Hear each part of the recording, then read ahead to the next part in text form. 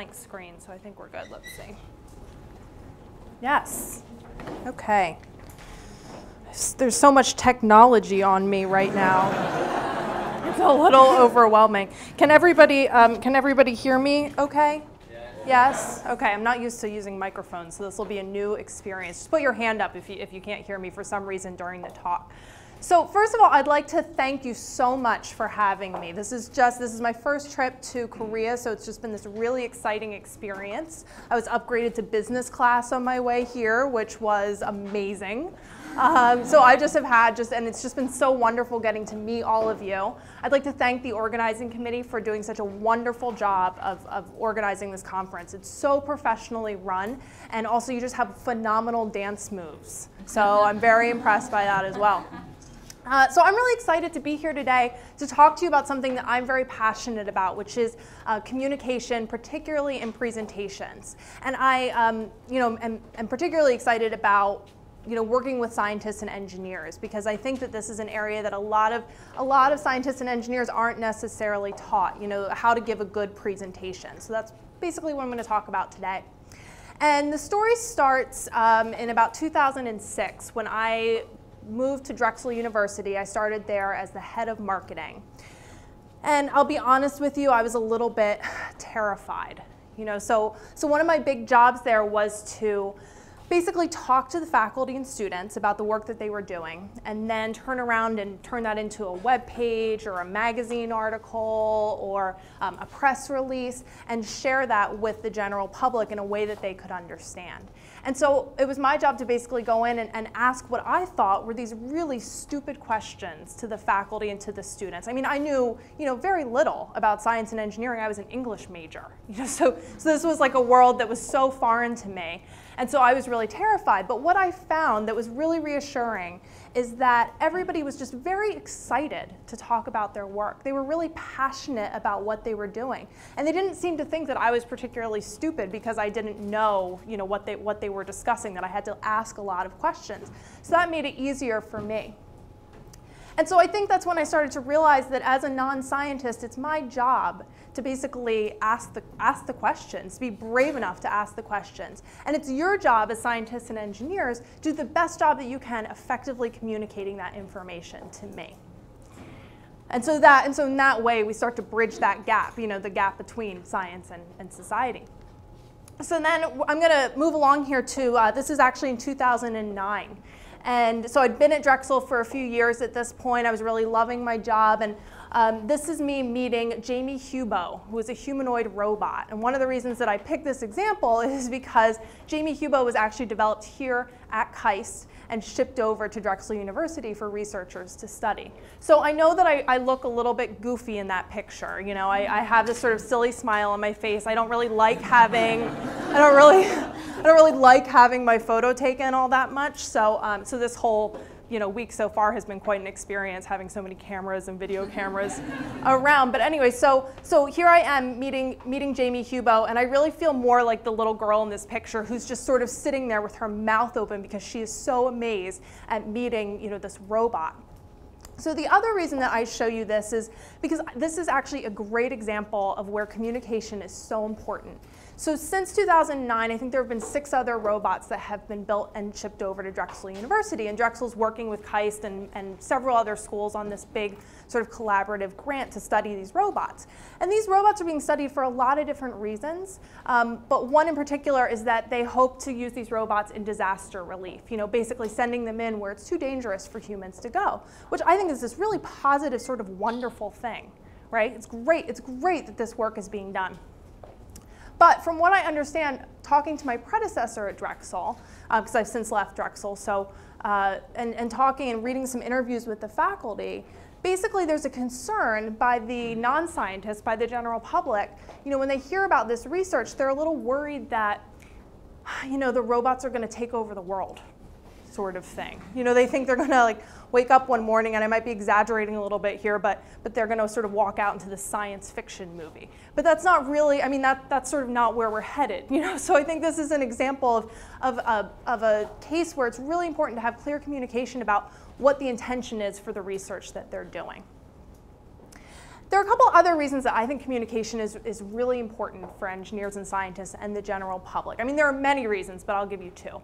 One is that, you know, you as scientists and engineers basically build the things that society uses, right? They're, they're generally the end user. Um, and frankly, almost all cases that I can think of. So you want to make sure that you're having that conversation with them. You want to make sure that they're a part of that conversation. The other thing is that when you look at uh, the people who are the most influential and who frankly have the money that's going to support your research, they're not always scientists and engineers. In fact, in most cases, they don't come from a scientific background. So if you look at uh, Time Magazine, from this is actually the 2012 issue, the 100 most influential people, there are some scientists and engineers on there, which is wonderful, uh, but, but many aren't. Many are musicians, actors, activists, politicians. I think there's a chef on there.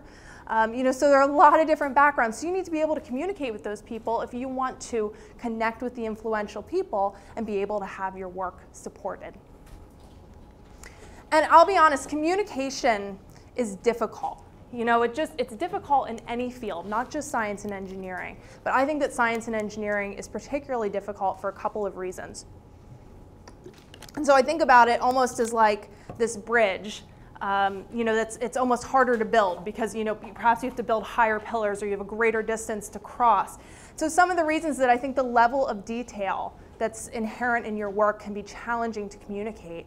I think the background knowledge that you need to communicate that or to understand it, you know, is, is a lot to sort of summarize to the general public.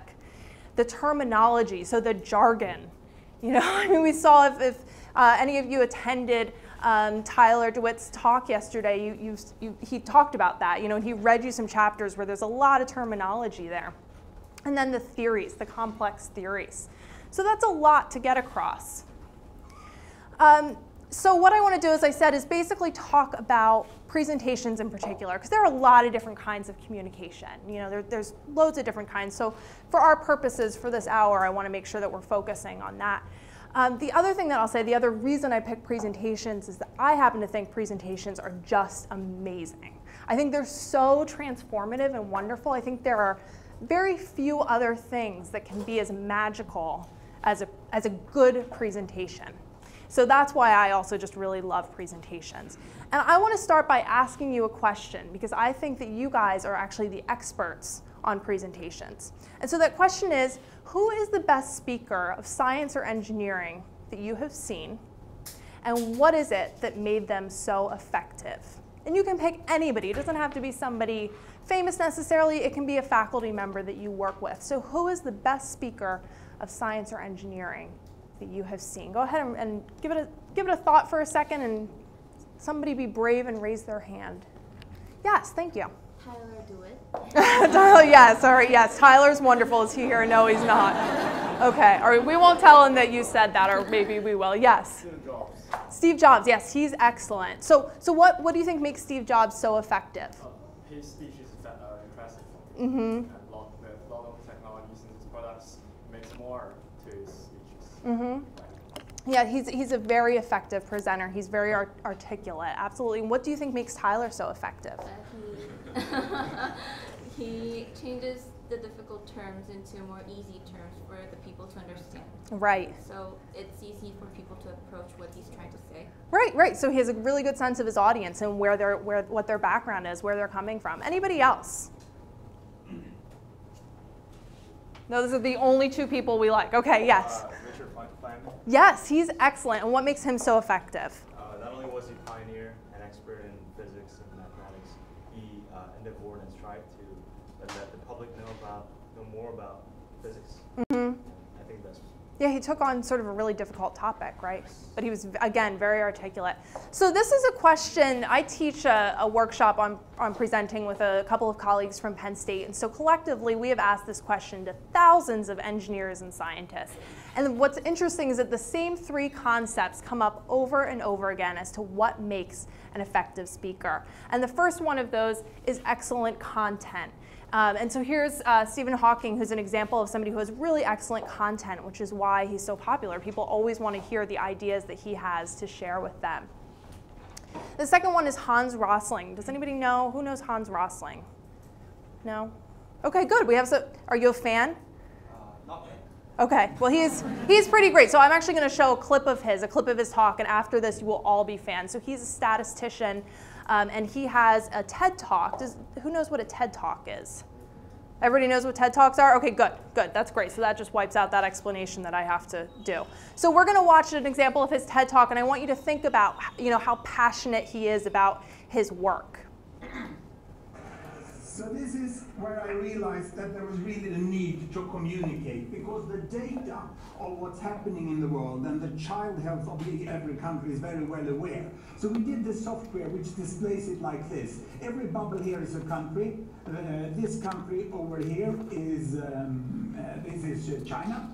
This is India. The size of the bubble is the population. And on this axis here, I put fertility rate. Because my students, what they said when they looked upon the world, and I asked them, what do you really think about the world? Huh? Well, I first discovered that the textbook was Tintin mainly. Huh? And they said the world is still we and them. And we is Western world, and them is third world.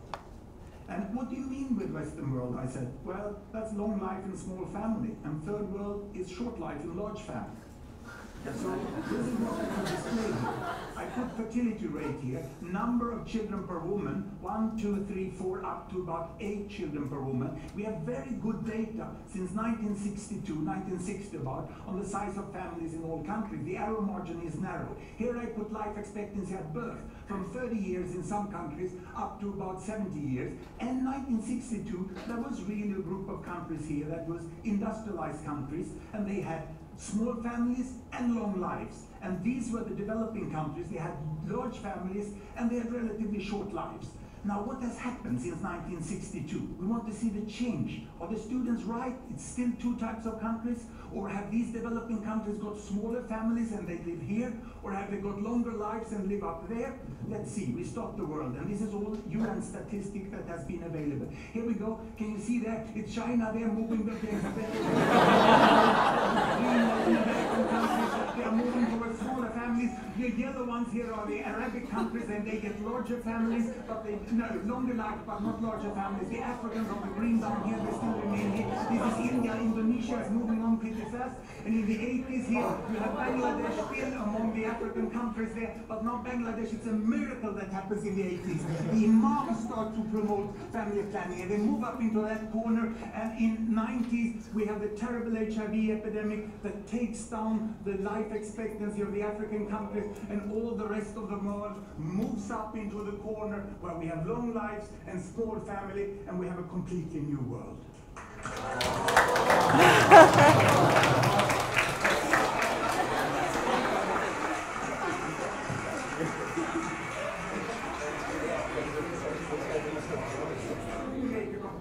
Okay, so who's a Hans Rosling fan now? yeah, right? He is pretty awesome. Um, so, what does he remind you of? He re- of what? Exactly. Yes, he reminds you of a sports announcer, right? He brings that same enthusiasm to statistics, which frankly I thought were always really boring until I watched this video. He makes them so exciting. So he's somebody that that's a great example of, of uh, a scientist who brings real passion to the work and, and to their presentations. And then the last thing you need, the third thing, is a, is a good sense of your audience, which we talked a little bit about with Tyler. You know, he has a really good sense of the audience.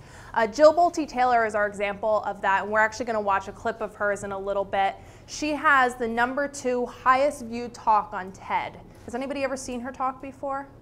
Okay, so we have, all right, so a couple people. Um, so she has something like last time I checked, 9 million people have watched her talk, which I just think is amazing. Imagine reaching 9 million people. So the audience, so that's a great place to start with your presentations. And that's something I think a lot of people don't necessarily do when they're building a presentation. You want to think about who you're speaking to. And there's some basic questions that you want to ask about your audience to be prepared to put together your presentation. I mean, this is even before you like sit down at the keyboard to build slides. You want to start asking these questions. Uh, and these questions come, most of these questions actually come from a book of my colleague, Michael Alley. He wrote The Craft of the Scientific Presentation. I'll show you a picture of it later. It's a great book to pick up if you want some more information about, about presentations. Um, so some questions to ask. One is, who are they? These are not terribly, you know, sort of revolutionary questions. You know, these are pretty basic. So who are they? Who are you speaking to? What do they know? How much background information do they have about your topic? Uh, why are they here? So were they, I mean, it's really important to know if your audience was sort of dragged into the room kicking or screaming, um, or if they're there voluntarily. Uh, what biases do they have? I think this is a very important question. I think if we look at the example of Hubo that I gave earlier, you can see that, you know, that knowing that, that the general public is sort of a little bit nervous about this idea of robots taking over, that's a good thing to know before you go out and present about, about Jaemi Hubo. And then how are your ideas relevant to their lives? This is a really important question. This is where we start to think about, you know, what details we're going to include in a presentation, right? Because we want to only include the stuff that's most relevant to the audience that we're speaking to. And we'll talk a little bit more about that and how to do that as we go along. So I want to talk about three basic sections. There's three things that you need to think about when you're building a presentation. You want to think about the structure of your presentation. You want to think about the visuals of your presentation. So today I'm going to talk mostly about PowerPoint because that's just what a lot, a lot of people use, but there are certainly other options out there. And then I'm going to talk about delivery, which is a topic that generally people have a lot of questions for me about. So if, if you have questions at the end, we can certainly talk about that too. So when you're thinking about the structure of your presentation, um, I often think back, Einstein famously described developing a new theory like hiking up a mountain. And what he said is that as you start your research in that field, you're, you, know, you start to gain more and more knowledge and you essentially start to climb the mountain until eventually you're at this peak and you're looking back over this body of knowledge that you have. And you can see this little spot at the bottom where you started, but that's almost insignificant now because you have this beautiful view of this field, you know, this, this, this area that you've researched. And so presentations are very similar, except that you're basically bringing an audience behind you up this mountain right? So it's your job to sort of decide how you're going to take them to make sure that they see a similar view that you see after you've climbed that mountain. And the way that you do that is you think about the organization and the depth of your presentation. There are other things to consider, but these are two of the most important things to consider. And it's almost like thinking about the pathway up that mountain. How are you going to walk up that mountain? What's the organization and depth of your presentation going to be? And a lot of people start here with this outline slide. Right? How many of us have seen a slide like this? And how many of us, God forbid, perhaps have one in a presentation that we've done? I know I had one at one point, right? So there are a couple problems with doing this, this type of outline slide. One is that, um, you know, this is just not memorable. So the way that our minds work, we can actually retain about three to four chunks of information, pieces of information at a time. And so right here we have 10 bullets, 10 pieces of information already that we have to remember through the whole presentation. That is just not going to be memorable for the audience. You're going to quickly lose them on that path up the mountain. This is a much more effective way. So this is how I often teach my students. So it's good that you want to break your presentation down into three to four main pieces and that will allow them to remember through the presentation where they're going and keep themselves oriented. So this example that I've shown you up here comes from a student in Norway called, her name is Katrina Aspmo, and she uh, does research on the mercury levels in the Arctic. So they actually dip apparently in the spring, and so she was doing research to, to find out why that is. Uh, so her presentation is broken down into the theory for mercury recycling, the measurements that they took at that station, and then the environmental implications of, of this. And you can see that she's paired a picture with each of them, which is what we teach students to do because people remember things, they're much more likely to remember things if they see a picture along with the phrase. So this is going to allow your audience to remember what you're talking about for the entirety of your presentation, which is a good thing, right? Can all agree? The other thing that you can do for organization is think about telling your presentation like a story.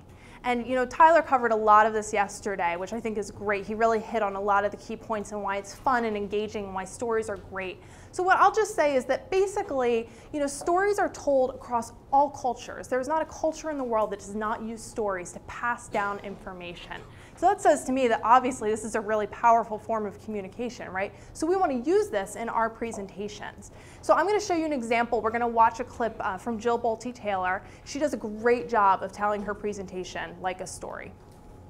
And we'll talk about it after, uh, after I, I show you this clip.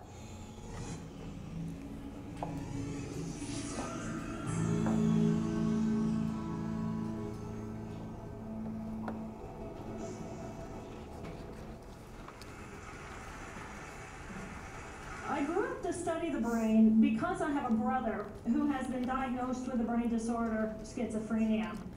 And as a sister and later as a scientist, I wanted to understand why is it that I can take my dreams, I can connect them to my reality, and I can make my dreams come true. What is it about my brother's brain and his schizophrenia that he cannot connect his dreams to a common and shared reality, so they instead become delusion. So I dedicated my career to research into the severe mental illnesses, and I moved from my home state of Indiana to Boston, where I was working in the lab of Dr. Francine Benes in the Harvard Department of Psychiatry. And in the lab, we were asking the question, what are the biological differences between the brains of individuals who would be diagnosed as normal control as compared with the brains of individuals diagnosed with schizophrenia, schizoaffective, or bipolar disorder? So we were essentially mapping the microcircuitry of the brain, which cells are communicating with which cells, with which chemicals, and then in what quantities of those chemicals. So there was a lot of meaning in my life because I was performing this type of research during the day. But then in the evenings and, and on the weekends, I traveled as an advocate for NAMI, the National Alliance on Mental Illness. But on the morning of December 10, 1996, I woke up to discover that I had a brain disorder of my own. A blood vessel exploded in the left half of my brain. And in the course of four hours, I watched my brain completely deteriorate in its ability to process all information. On the morning of the hemorrhage, I could not walk, talk, read, write, or recall any of my life. I essentially became an infant in a woman's body. If you've ever seen a human brain, it's obvious that the two hemispheres are completely separate from one another. And I have brought for you a real human brain.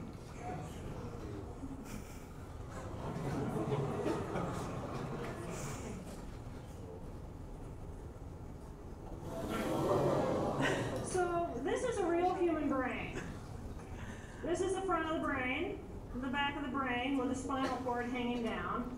And this is how it would be positioned inside of my head. And when you look at the brain, it's obvious that the two cerebral cortices are completely separate from one another.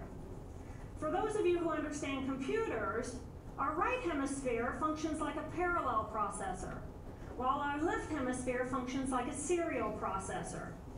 The two hemispheres do communicate with one another through the corpus callosum, which is made up of some 300 million axonal fibers. But other than that, the two hemispheres are completely separate. Because they process information differently, each of our hemispheres think about different things, they care about different things, and dare I say, they have very different personalities. Excuse me. It's been a joy.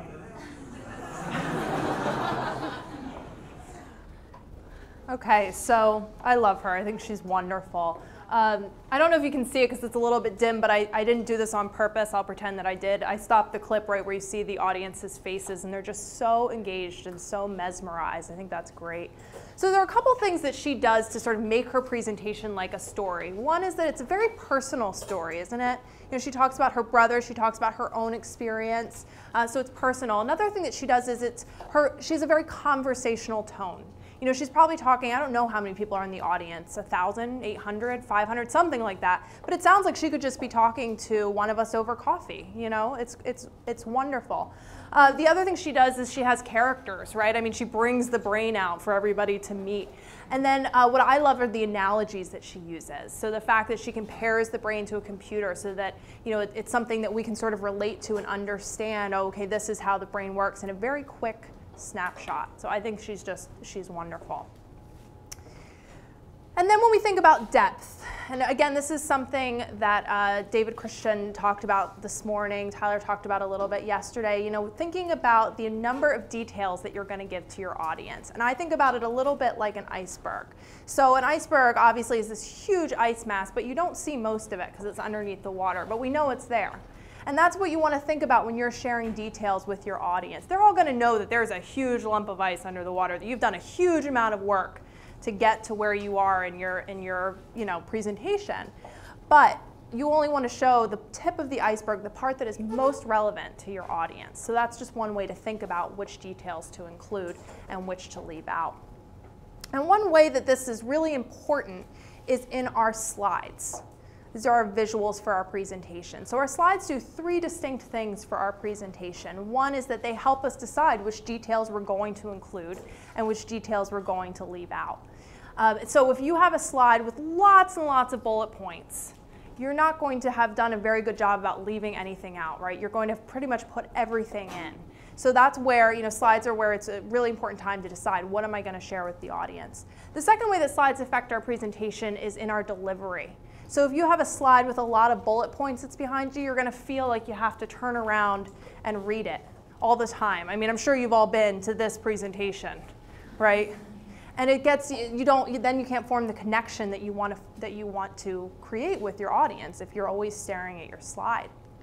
And the third way that these affect our presentations is uh, in the comprehension of the audience. So there's been some research done by Michael Alley, who I mentioned earlier. Um, he's from Penn State University, and he's actually shown that people remember more uh, when you use an assertion evidence style of presenting. And I'm going to explain a little bit more about what assertion evidence is, but it's essentially how you see me presenting today. So a lot of visuals with this sentence at the top of the slide.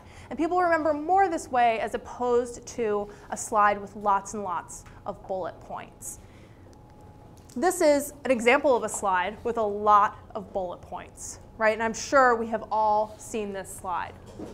The problem with this is that it, we go into something called cognitive overload where we actually can't take a presenter talking to us and then also reading all this at the same time. It's more than we can actually handle. So there has been research done by um, a cognitive scientist named John Sweller, who's out of Australia, and what he has shown is that it's actually better to have a black slide, like just a blank background behind you, than have a slide like this up on the screen. Your audience will remember more if the screen is just black than having something like this. So this is not something that we want to do. So this is an example of a slide that we actually show in our workshops, and we ask the students, you know, what, what are the problems that you see with this slide? So I'm going to ask you, what are some issues that you see with this slide? What bothers you about that slide? I will pay you your $5 later for answering that. Thank you. That was so perfect. Yes. Too many words. I really enjoyed your preview slide because you put just one picture. And it was Yeah. kind of a waiting for what's next because there is a huge empty space. So Yep. catch my So there it is. It's too many words. That's that's what that's what's coming. Anybody else want to say what's wrong with that slide? I can't guarantee I'm going to magically make it appear up on the screen, but anything else? Yes. Let's see what we have. Cluttered. It's close. Yeah. Not. You're, it, there's too much. You're not sure what order to read it in. Yes. The graph is unclear. Yes. Oh my gosh, you guys are amazing. okay, so yeah, so so a lot of the text is unreadable and the graphics are unclear because there's so much on there that you can't see. Oh my god, you guys just made my presentation. Thank you. Oh, that was so exciting. Okay.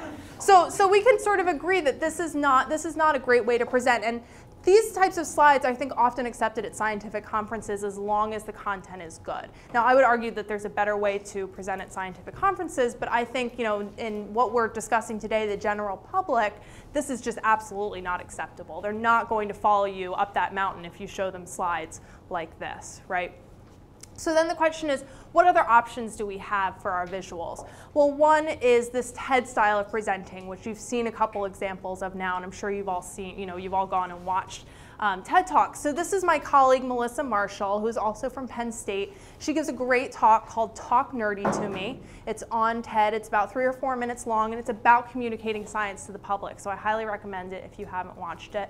But basically, in this TED style of presenting, you're, you're backing up your message with visuals. It's a very highly visual mode of presenting, and a lot of times you might not even have anything behind you when you're presenting. So this is one, this is one way. The way that I generally teach um, students first, particularly scientists and engineers, is this assertion evidence method that we were discussing. So this is Michael Alley, and this is his book, The Craft of Scientific Presentations, if you want to learn more about this style. He has really done a lot of work on this.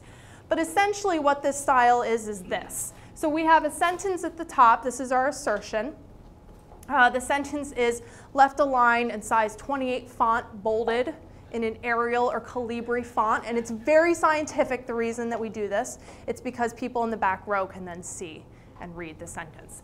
Uh, and then the main body of the slide is the visuals. So that means a picture, a video, graph, data, whatever you'd like to share. And there are a couple of reasons that I really like this style. So one is that as you're developing your slides, it really forces you to focus on what is the main message that I want people to take away from this slide. That's what you're going to write at the top. So it makes you as a presenter be very thoughtful about the visuals that you're creating. And the other reason that I like it is because for a non-technical audience, you know, when they're watching a technical presentation, it happens to all of us, they might be thinking about something else besides your presentation, right? They might be thinking, oh, after this I have to go uh, pick up some milk, you know, or do, do something else not related to the presentation. And then they can snap back into it and say, oh, wait, I'm supposed to be paying attention. And they can read the sentence at the top and, and you know, continue on your presentation. The last reason I like this is that I think it's just a, a, pretty simple way for somebody who doesn't necessarily have a strong design background to begin developing some really great slides. So I really like this.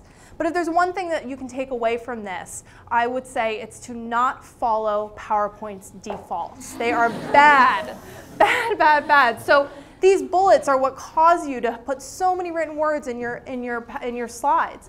Um, it takes up all that space that can be used for visuals. And then at the top, you know, we have that phrase headline. So yes, there are fewer words there, but it's not going to focus you the way that a full sentence will at the top of your slide. So this is really, really powerful. And then lastly, we want to talk about delivery.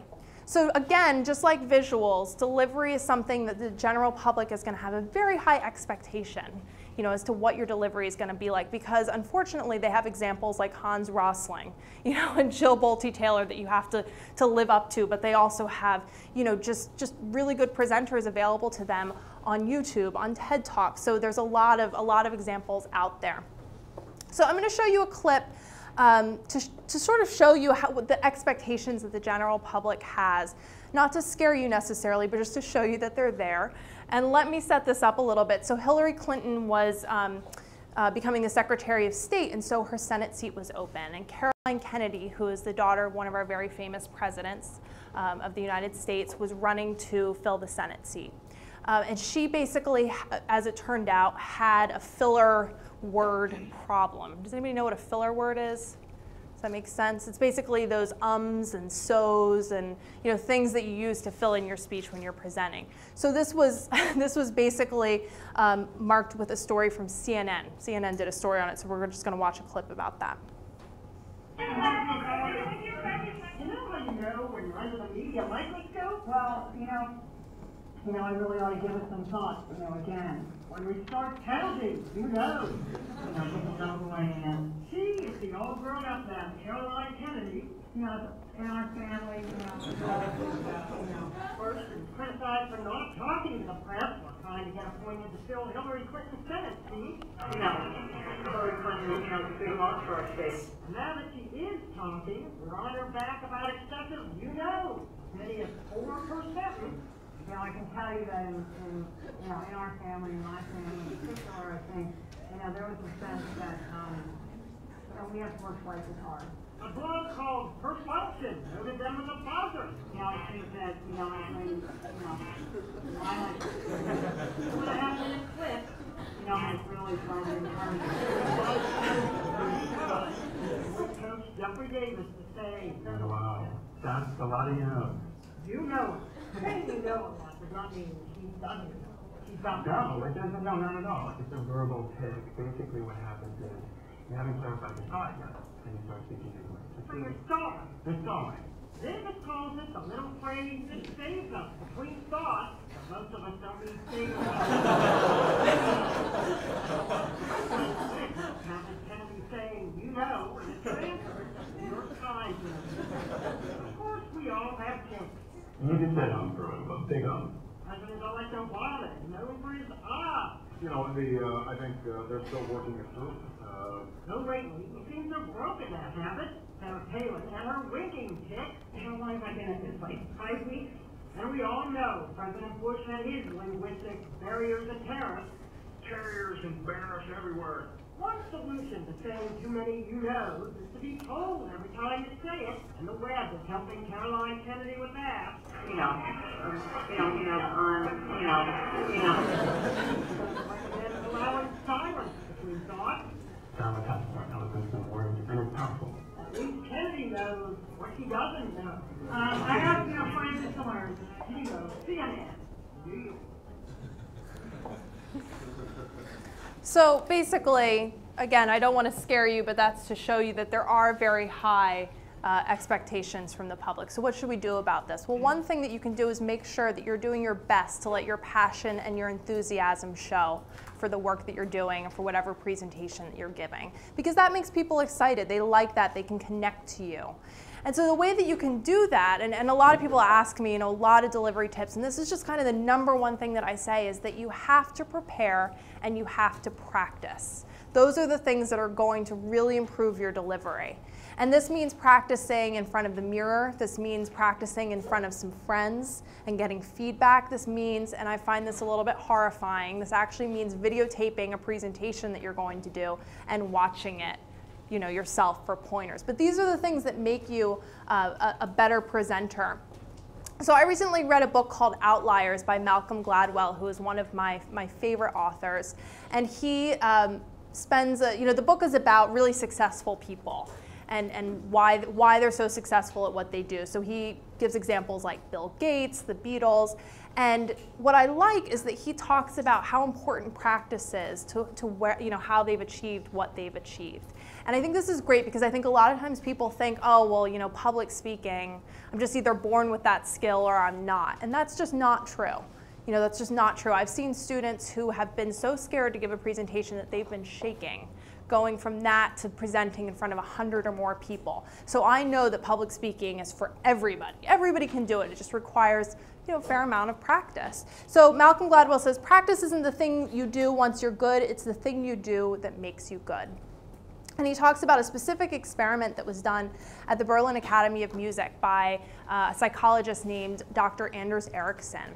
And what Dr. Ericsson did is he basically took uh, he worked with the faculty to divide the violin students into three categories. So there were the categories that were basically they were exceptional. They were exceptional musicians. They were going to go on to be professional musicians. There was the middle category that they were good. They just weren't, you know, this this elite caliber. And then there's the third group that basically they were probably going to go on and do something else. They were going to be a music teacher or they were going to go to a different field entirely. And what he found, and all these students started practicing around the same age. You know, they all started practicing around five, and they were all practicing the same number of hours. But by the time they were 20, their practice varied greatly. So the students in this top group were practicing about 30 hours a week on their violin. And that at that point, you know, by the time they were 20, they had logged about 10,000 hours total of practice. And so there's something kind of magic about this 10,000 hours. This is, this is around when you sort of become a master at something. Uh, Gladwell talks about it in his book. You know, 10,000 hours is something really important. So the middle group, by contrast, had practiced 8,000 hours, and then this last group, 4,000 hours. And so I say this not so that you go practice a presentation for 10,000 hours, which would be a, a, lot of practice, but just so that you understand sort of the importance of practice in the presentation you know, and, and delivery um, mode. So basically, I just want to want to wrap up by again moving forward in my career. And so I went from Drexel University to uh, Worcester Polytechnic Institute, which is a, a basically a, a, an engineering school in um, the middle of Massachusetts, in the northeast of the U.S. And I was, um, you know, I, I was frustrated by the time I reached you know, the end of my career at Drexel because I just felt like I wasn't having the impact that I wanted to have. You know, I felt like I was this ping pong ball between the engineers and the general public, and that I was trying my best to translate everything, and I just couldn't do it. I couldn't do a good job. So I came to WPI, and they were in the middle of starting this program called Engineering Ambassadors. And in this program, undergraduate engineering students have extensive training on public speaking and communication and leadership skills, and then they go ahead and apply those skills by going out and giving presentations to middle school and high school students. And so this is a great program because you know students like you are getting extensive training and feedback, but then they're also getting to practice and excite younger generations about science and engineering. So when I found this program, I thought, oh my gosh, this is what I have been looking for. You know, instead of me being the, the, the messenger, I'll just make you guys the messenger. You know, I'll teach you what to do, and then you can go out and share the message that you want to share. And I just thought that was just such a better, better method than me frantically trying to create another website that somebody would read. You know, so I mm-hmm. thought this was just a really great program. And where I've gone from there is after I left WPI, I started um, my company, and, and, so I'm working with Penn State and also uh, a professional group called the American Society of Mechanical Engineers, and we're taking this program nationally and hopefully internationally. So you'll see we have a couple schools, uh, one in Norway and one in China right now that are starting these programs. And so I, I love what I do. So I get to work with all these people to start this program. But the reason that I'm sharing this with you is because this map says to me that there is a growing movement of people who really care about science communication. And that is so exciting. And what this says to me is that you are the ones who are really driving this movement, that you are the ones who really care about this. And so that just, just makes me really happy. You know, it just makes me smile. I think it's great that, that students are taking an active interest in this and trying to communicate science to the public and bridging that gap. Thank you.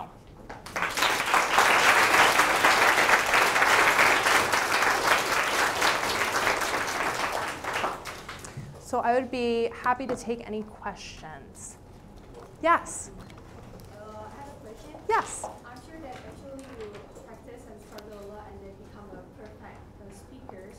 And then I would like to ask what are the mistakes that you have done that you think, oh, I'm not going to do it and this is like kind of a fatal mistake that I did?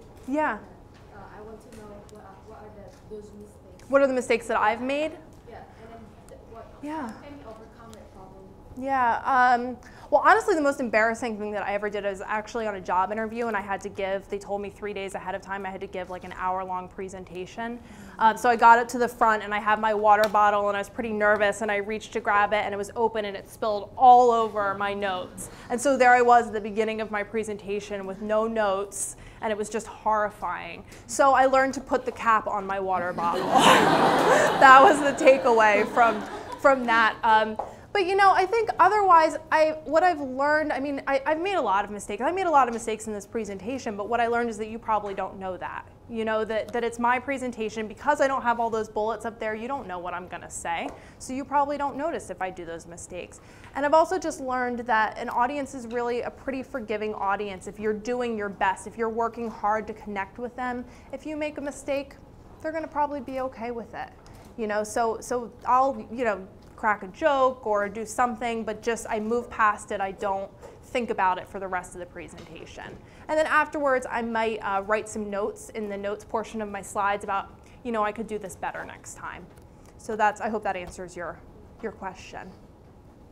Yes? Um, my question is that how actually you decide um, the depth of the contents that you're about to deliver? Mm-hmm. Like, mostly it's going to be, it's going to depend on who the audiences are, but I, I don't, like, I have difficulty deciding how deep I'm going to get in. Yeah, it's a hard thing to decide. Um, you know, what I would say is that it, a lot of it depends on the time frame that you have. Um, and so that's one thing that I always sort of look at. I think the other thing is really, like you said, thinking about your audience. So what I will often start with in my process for developing a presentation is I will take a thing of sticky notes. Do you guys have sticky notes? Does that even translate? Those yellow post-it notes? Yeah. So I take those and I write an idea down on, you know, whatever idea, whatever information I want to share in that presentation goes on one sticky note. Each idea, you know, one idea per sticky note. And then I spread those all out and I start to organize them and I start to pull, and it sort of shows me like, wow, you know what, this is just too much information. And then I start to pull out sticky notes and organize them. And then from there, I move to typing it, typing it up on my computer. I actually don't develop slides until after I've written out everything that I'm going to say, and then I go start developing the slides. But that process seems to help me, and, and it's continuous. I mean, I started this presentation, um, I don't know, probably a month ago before I came here. And so by starting that early, I allowed myself time to, to keep shifting and adjusting and practicing and getting to the point where I felt comfortable with the, with the depth that I was sharing with you. You're welcome. Yes? Thank you for the excellent uh, presentation. Oh, you're welcome. I will ask about the language. Mhm. Since I'm a Korean student and not mother language in English, Mhm. I have many troubles in English, so I practice a lot. But I hope to hear about, hear about advice for the foreign student to present in English. Mhm. Do you have any advice for our students? Because many of these students are Koreans or Chinese, Yeah. so they are not very familiar in English. Right. I think um, one is to practice, like you said. I think that's a really important point. You know, practice is so helpful. The other thing is the speed that you speak. So I think a lot of times people t- tend to speak really quickly because they feel like the audience is upset that they're not getting through it quickly enough. But, but you really can slow down your speech, and that allows you more time to think about the words that you want to use in your presentation. And your audience isn't going to think, like, wow, you're speaking really slowly. They're just going to be able to process what you're saying a little bit more easily. So that's, I mean, that's another. Um, another you know tip that I can give you. The other thing I'd say is that you just have to go out and present. I mean, you just have to not just practice behind a closed door, but go out and give a presentation to an audience, and and that will help you improve, I think, as well. You're welcome. Yes. I've been counting how many of you know said, and uh, that's interesting because maybe English native speakers they Mhm. use this, you know. Yes. And I have a professor here in Korea. All the times he was going to say something important, a Mhm. connection thing, he said the interesting thing uh, is. Yes. So in the end of the semester, he asked us, "What is the most interesting thing you, you see and we said, uh, all the times he said, "The interesting thing is everybody's like uh, waiting for. Yeah. Gonna, what are you going to say?" and uh, my question for you is, how to handle what the times we had group project Mhm. and we had made the presentation slides. Sometimes people want fancy colors, too colorful. How to handle that? in the Yeah. That that's a really good question and a really difficult one. You know, so that's something that that my students when I teach them, you know, when we start to teach them this style of presenting, that they really struggle with because they suddenly realize this is a much better method and they want to use this, but this isn't something that many people necessarily want to adapt. So it is hard. I think the best thing you can do is to show other group members an example.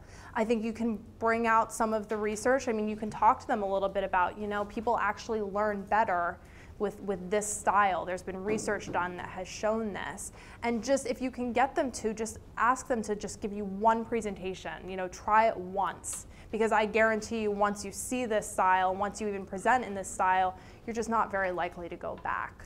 But I don't have, I mean, I don't have the magic answer for that. It's really a conversation and, and sort of bringing people along to this method. You're welcome. Do we still have time for more questions? Yes? We still have time? Oh, okay. Oh, okay, great. Yes? Thank you. Um, uh, you talked about um, how to organize Mhm. um, presentation, but what I want to ask is, what would be the attitude or mind below that presentation that, that scientists should have to the lay public? I'm not sure I understand your question. So, so in organizing the presentation, what should they Um, be thinking? You mean in terms of behind, like behind the organization, or No, um, the attitude. oh, the attitude that scientists should have? Okay, when they're presenting to yeah, the public. prepare Mhm. That's a really good question too. I think uh, I think you need to think very carefully about you know what takeaways you really want them to have. What is the most important point of your research that you want to share, and how can you share that in a way that they will understand it? And I think again, practice comes, you know, practice is a really powerful thing there where once you come up with that, what is this uh, main idea that I really want them to take away? You're going to want to test that with some other non scientists to say, do you understand this? Is this engaging for you? So I think, I mean, what I think about is like, what is, the, what is kind of the one takeaway that I want them to have, or what, you know, what, what are my main points in my presentation? So that's kind of the mindset that I would advise that, that you have as a scientist too, and, and how can I make sure that they understand that? You're welcome. Yes? Uh, often while giving presentations, I think one of the major questions which I have faced as a person is um, how much of background information should I uh, should I give? Definitely depends upon uh, whom you're addressing, Mhm. whom you're presenting in front of. Uh, even then, I, I believe it's a difficult question to answer um, because I, I believe his, history is really really important. That you need to know what you're dealing with first before you're talking about something. Mhm. But then, um, could you just uh, tell me as an experience? like, Yes. Had so many presentations. How much background information should you be willing to give to your audience? hmm That's a great question too. I think, you know, again, I kind of come back to the time allotment that you have. You know, so so for this presentation, I don't know if you noticed, but I kind of wrapped it in a story about my career experience because as I was building it, that's what I sort of found. Like, oh, a lot of my thoughts kind of progress along with my career. But I wanted to make sure that I had the important takeaways in there that I really needed to make sure that you left the presentation with. And then I almost backed into, okay, this is how much time I have to tell my own story. And then, you know, okay, what level of detail do I want to go to within this hour? You know, how, how much detail can I really go into in an hour? Well, it's not even an hour. You know, I talked for probably 30 minutes by the time I add in all those clips and everything. So I often will go back to the time frame and then I'll, I'll also think about my audience. So there's another version of this where I, you know, well, we have several versions of it, but where I go into a lot more emphasis on the research that's behind all these findings. But I, you know, I, I, didn't, I thought you guys would rather just sort of know like this is what you do. You know these are the takeaways that you can that you can take. And so i just mentioned you know because and there is research behind it. So if you're interested you can look up more. So I, I kind of start with the time frame there are several ways to do it but i think the time frame and the audience are the two things that you want to focus on you're welcome. Do we have time for one more? Yeah. Yes thank you. I'm also an English, English major, and when our teachers trained us to prepare for presentations, she said that we should find a way that suits us, uh, suits us best. So do you think that we should establish our own personal style, and, or should we just adapt different styles uh, according to different audiences? Yeah, that's a great question. I think developing your own style is really important, but I think you also need to keep in mind the audience that you're presenting to. Um, so, and, and that's, you know, in terms of age, in terms of culture, in terms of what type of presentation it is. So I think you definitely want to develop your own style. I heard somebody once describe it as you want to be the best version of yourself up here, you know. So, so you want to be, um, you know, if you're, if you're somebody who sort of likes to hide behind the podium back here, you might need to fight that a little bit, right, to get out here and connect with your audience. But you still want to develop your own style, keeping in mind, you know, the, the, the occasion. Okay? So I will be around all week, so I'm happy to, to talk to anybody one on one or answer more questions. But thank you so much. This was such a pleasure.